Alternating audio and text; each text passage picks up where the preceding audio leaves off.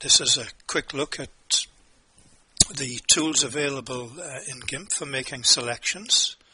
Uh, it doesn't go into any depth, it's just what options are available. People quite often want to uh, select a foreground or a background and the first step is always a, a selection. So these are the tools that are generally available in GIMP.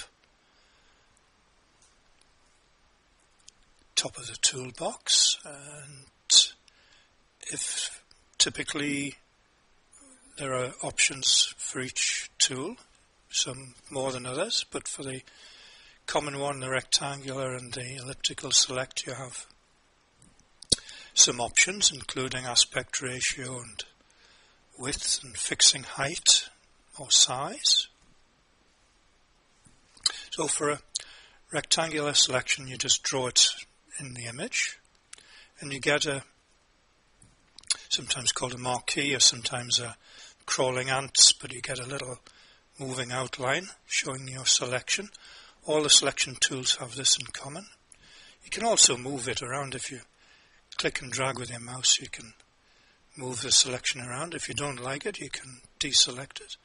Same with the elliptical selection tool. And, uh, useful in this one example is expand from center. So you just tick the box for an option and you can drag from the center out over rather than from a corner. You can also have a fixed aspect ratio if you want to make a perfect circle. Very useful uh, option. Now the more important are modes. Here by default it's replace but you can uh, add to a selection.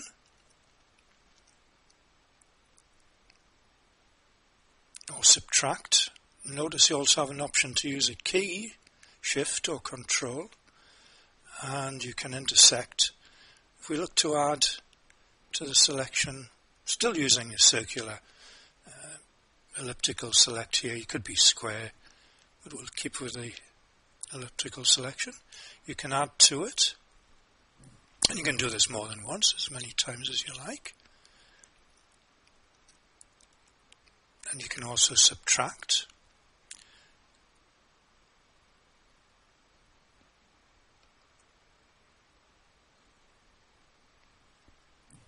And the intersect is a sort of a difference tool. Uh,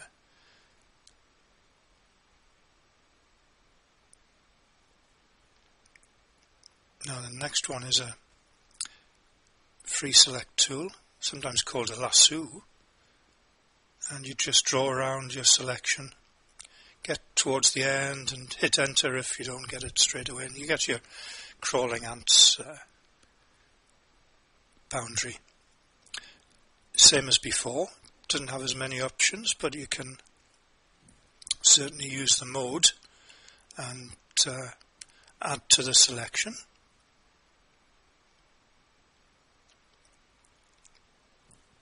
Or you can subtract from a selection.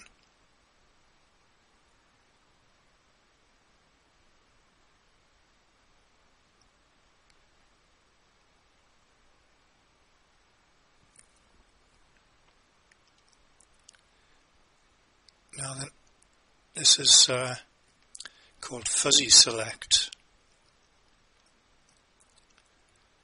sometimes called a magic wand. Uh, and it tries to select on basis of common parameters. So you click in the image and you get largely white areas. If you click in a white area, you can add, same as uh, as the other selection tools. And if you have, say, large blocks of similar colours, uh, it's quite a useful tool. You can also uh, subtract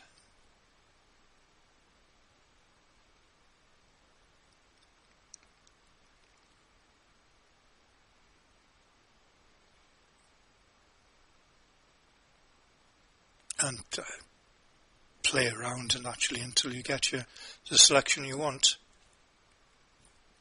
But that's the uh, fuzzy. Now then the color select works in a very similar way but on color. Very useful if you have say a plain uh, blue background or a red background or a white foreground. You can select the color.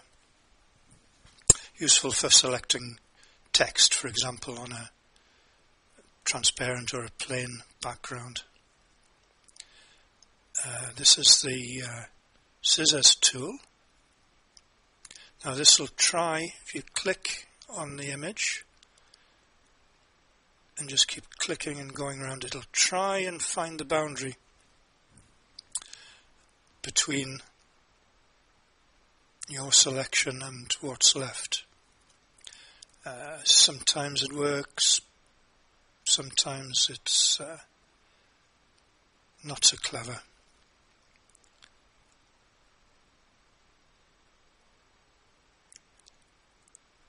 When you get to the end, uh, if you don't get a selection, just hit the enter key and you'll make your selection. There's a selection.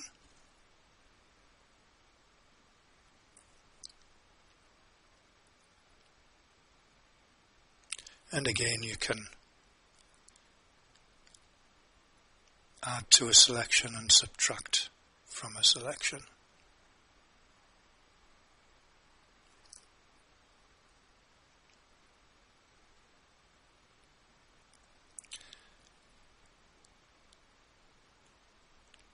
Now I'm skipping one and going on to a path tool. It's not strictly a selection tool, it's for making a path, but it works in a very similar way to the scissors tool. Here you click on various points called nodes. When you get to the end, close to the end, hit the, hit the enter key and you get a selection. You also get a path, uh, but looking at the selection, uh, you can change it by editing the nodes, go into the path tool edit mode, very useful for making, making uh, complex curves. When you're finished, select from path and you get a selection. If we look at the uh, paths dialog, you can see that's the selection. You can generally hidden, but you can unhide it. When you don't want it, just kill it and you're left with a selection. Can be very useful.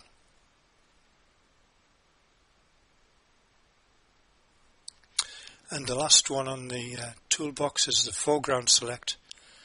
Uh, this is the latest tool that was introduced in GIMP for uh, foreground selections. And here you get presented with the uh, free select tool and you draw around the object, foreground. Then you're given a paintbrush tool and you paint inside.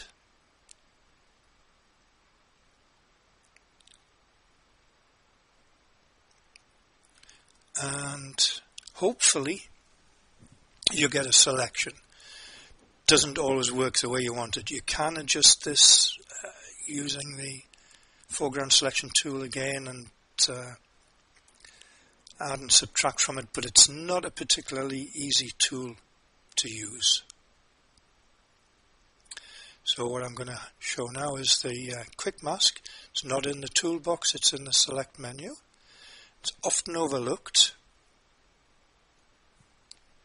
And here you get a mask over the uh, image. And if you paint into it, uh, if you paint with white, you uncover parts of the image, which are your selection. So the uh, white bits are my selection.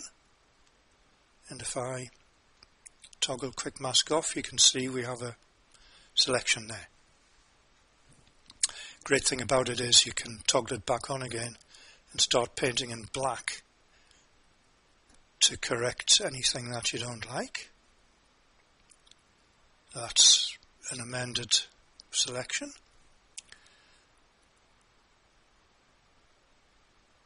You can also mix and match, so there's a circular selection. Toggle a quick mask. There it is, perfect circle selection.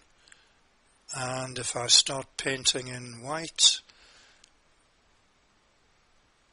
or black,